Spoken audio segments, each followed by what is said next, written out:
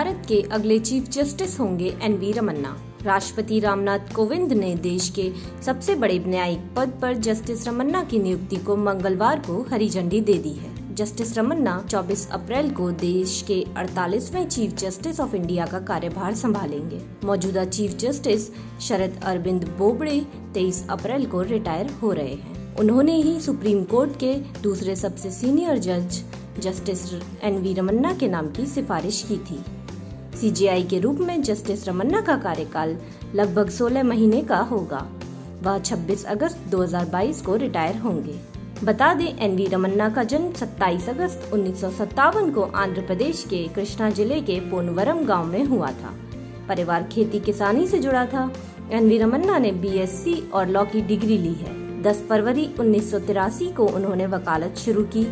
N V Ramana करीब 38 साल से कानून और न्याय के क्षेत्र में अलग अलग भूमिका निभा रहे हैं।